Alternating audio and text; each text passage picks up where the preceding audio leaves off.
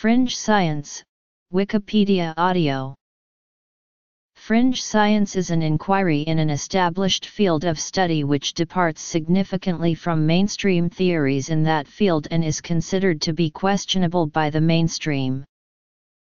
Fringe science may be either a questionable application of a scientific approach to a field of study or an approach whose status as scientific is widely questioned. For mainstream scientists, Attributes of fringe science include being highly speculative or relying on premises already refuted. Fringe science theories are often advanced by persons who have no traditional academic science background, or by researchers outside the mainstream discipline. The general public has difficulty distinguishing between science and its imitators, and in some cases a yearning to believe or a generalized suspicion of experts is a very potent incentive to accepting pseudoscientific claims. Description The term fringe science covers everything from novel hypotheses which can be tested by means of the scientific method to wild ad hoc hypotheses and mumbo-jumbo.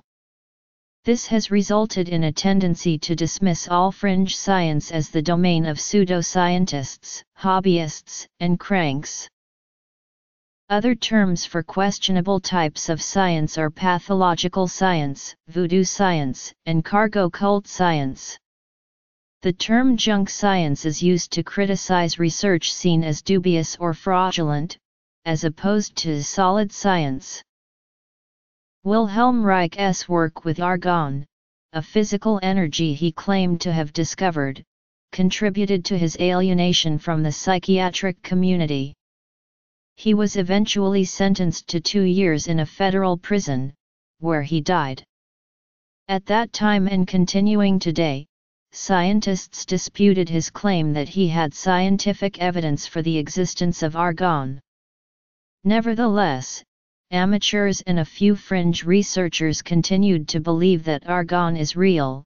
Focal infection theory as the primary cause of systemic disease rapidly became accepted by mainstream dentistry and medicine after World War I. This acceptance was largely based upon what later turned out to be fundamentally flawed studies. As a result, millions of people were subjected to needless dental extractions and surgeries. The original studies supporting FIT began falling out of favor in the 1930s. By the late 1950s, it was regarded as a fringe theory. The Clovis first theory held that the Clovis culture was the first culture in North America. It was long regarded as a mainstream theory until mounting evidence of a pre-Clovis culture discredited it. A concept that was once accepted by the mainstream scientific community may become fringe science because of a later evaluation of previous research. For example, focal infection theory, which held that focal infections of the tonsils or teeth are a primary cause of systemic disease, was once considered to be medical fact. It has since been dismissed because of lack of evidence. The term fringe science denotes unorthodox scientific theories and models. Persons who create fringe science may have employed the scientific method in their work, but their results are not accepted by the mainstream scientific community. Fringe science may be advocated by a scientist who has some recognition within the larger scientific community, but this is not always the case. Usually the evidence provided by fringe science is accepted only by a minority and is rejected by most experts. The boundary between fringe science and pseudoscience is disputed. The connotation of fringe science is that the enterprise is rational but is unlikely to produce good results for a variety of reasons, including incomplete or contradictory evidence the term may be considered pejorative. For example, Lyell D. Henry Jr. wrote that, fringe science a term also suggesting kookiness. This characterization is perhaps inspired by the eccentric behavior of many researchers of the kind known colloquially as mad scientists. Although most fringe science is rejected, the scientific community has come to accept some portions of it. One example of such is plate tectonics, an idea which had its origin in the fringe science of continental drift and was rejected for decades. Aubrey de Grey, featured in a 2006 60 Minutes special report, is studying human longevity. He calls his work Strategies for Engineered Negligible Senescence. Many mainstream scientists believe his research is fringe science. In a 2005 article in Technology Review, it was stated that SENS is highly speculative. Many of its proposals have not been reproduced, nor could they be reproduced with today's scientific knowledge and technology. Echoing Myhrvold, we might charitably say that de Grey's proposals exist in a kind of antechamber of science, where they wait for independent verification. SENS does not compel the assent of many knowledgeable scientists, but neither is it demonstrably wrong. A Nuclear fusion reaction called cold fusion which occurs near room temperature and pressure was reported by chemists Martin Fleischmann and Stanley Pons in March 1989.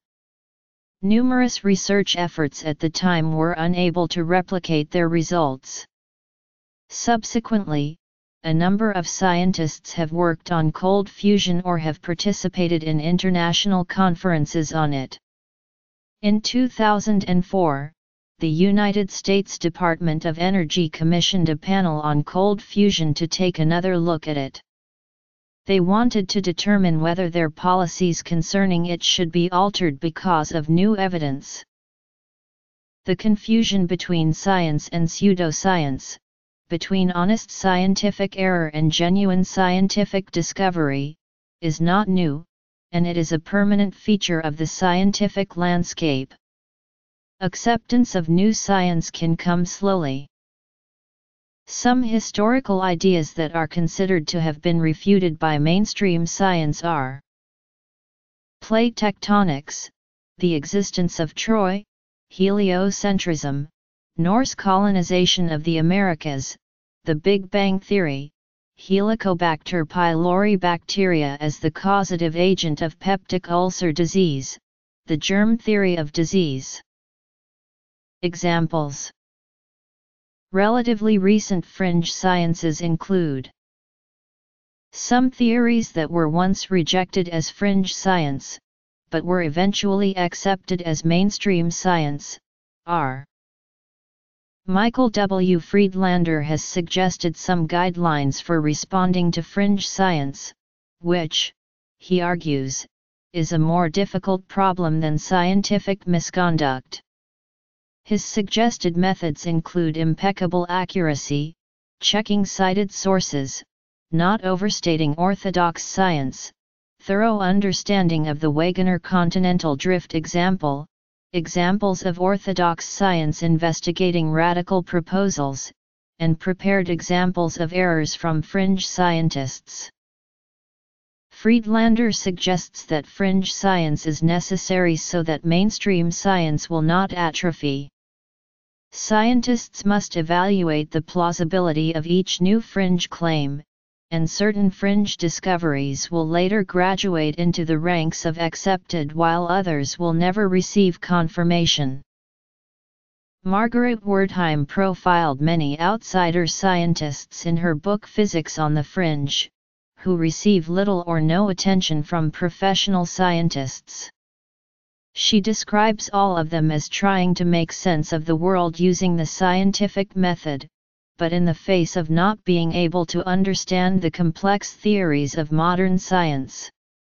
She also finds it fair that credentialed scientists do not bother spending a lot of time learning about and explaining problems with the fringe theories of uncredentialed scientists, since the authors of those theories have not taken the time to understand the mainstream theories they aim to disprove.